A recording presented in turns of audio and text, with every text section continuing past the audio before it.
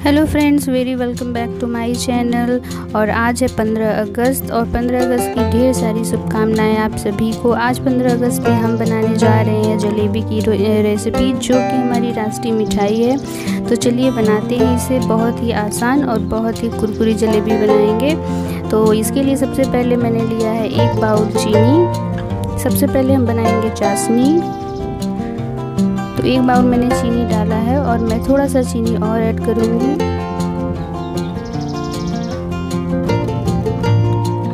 तो मैंने एक भगोने में चीनी को ऐड कर दिया है और इसमें मैं ऐड करूँगी पानी। पानी भी मैं एक बाउल के करीब पानी इसमें डालूँगी।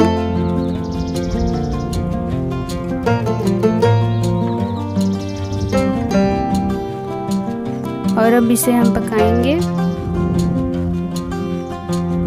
चाशनी में डालने के लिए मैंने लिया है थोड़ी सी इलायची, छोटी इलायची।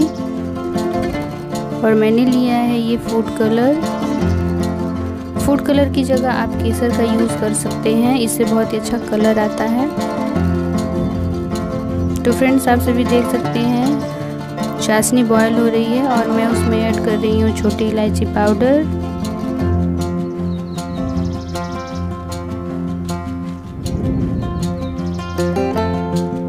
चाशनी को हमें बहुत ज़्यादा नहीं पकाना है। हमें इसे इतना पकाना है कि दो उंगलियों में चिपकाने पर ये हल्का सा लसलसा बन जाए। और मैं इसमें ऐड कर रही हूँ थोड़ा सा कलर।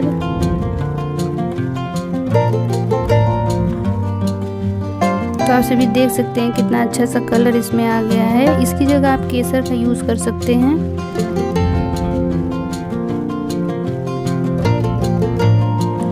इसे भी थोड़ी देर और पकाएँगे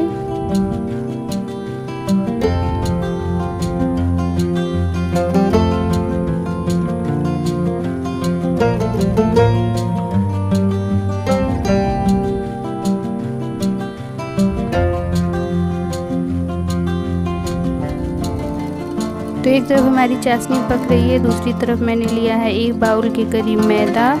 और इस मैदे में मैं ऐड कर रही हूँ इनो। अगर आप इनो नहीं ऐड करना चाहते हैं तो मैदे और पानी का घोल बनाकर कम से कम 10 से 12 घंटे पहले रख दें।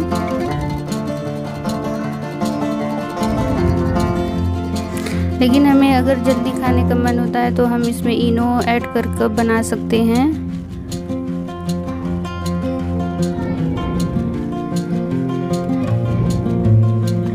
तो इनो डालने के बाद मैं इसे अच्छे से मिक्स कर दूँगी।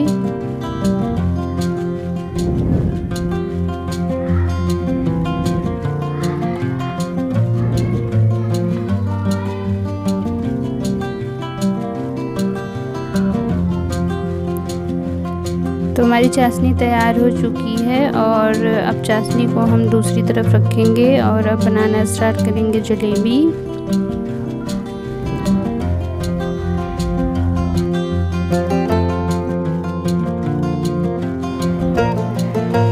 फ्रेंड्स, चाशनी हमारी तैयार हो चुकी है और अब हम बनाएँगे जलेबी का घोल। तो इसमें मैंने इनो पाउडर पहले ही मिला के रखा हुआ है और अब मैं ऐड कर रही हूँ इसमें पानी।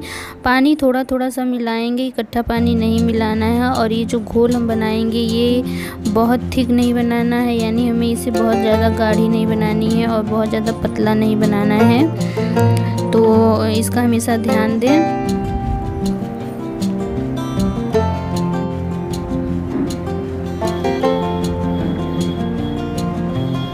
तो इसका एक अच्छा सा घोल बनाएँगे। इसमें गुठलियाँ नहीं रहनी चाहिए।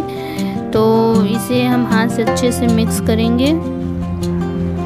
तो देखिए फ्रेंड्स मैंने इसे अच्छे से मिक्स कर लिया है और इसमें गुठलियाँ बिल्कुल भी नहीं हैं। तो ये घोल हमारा बनकर तैयार है जलेबी के लिए और जलेबी को बनाने के लिए मैं यूज़ करूँगी पन्नी का।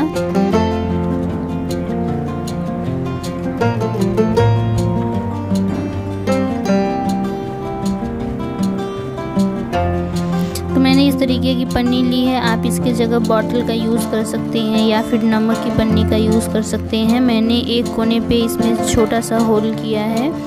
मैंने छोटा सा एक होल इसमें कट किया है यहाँ पन्नी पर। और ये देखिए, मैंने इसके अंदर घोल को भर लिया है और अब हम बनाएँगे जलेबी।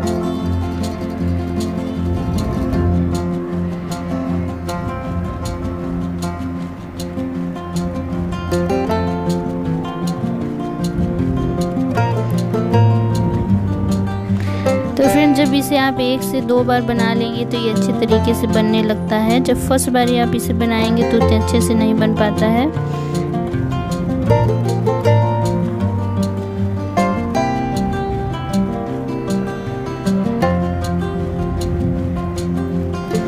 तो देखिए हमारी जलेबियाँ फ्राई हो चुकी हैं और अब इसको हम डालेंगे चाशनी में।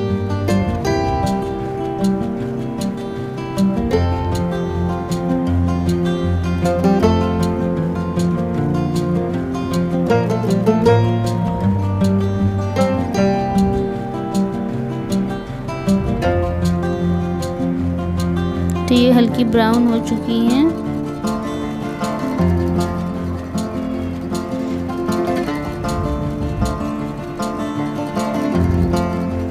तो फ्रेंड्स देखिए, मैंने इसे ऐड कर दिया है चाशनी में। थोड़ी देर के लिए इसे हम इसे, इसमें डुबो कर रखेंगे और इसके बाद हम इसे निकाल देंगे।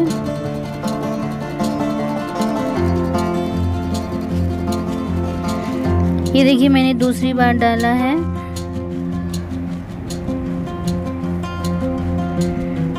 इसे भी हम पकाएँगे।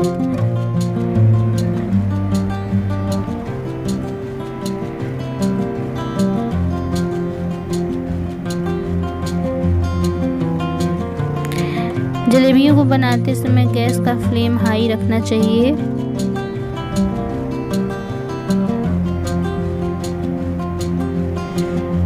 तो फ्रेंड्स, देखिए हमारी जलेबियाँ ये भी बनकर तैयार हो गई हैं और इसे हम डालेंगे चाशनी में। आज है पंद्रह अगस्त तो इसे ज़रूर बनाकर खाइएगा और बताइएगा कि कैसी बनी है।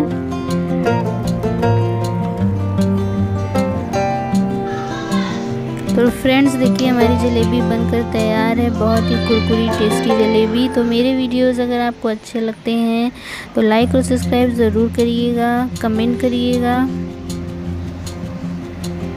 और देखिए, ये कितनी अच्छी बनकर तैयार हुई है। तो आप घर पर इसे बनाकर आसानी से खा सकते हैं। Good bye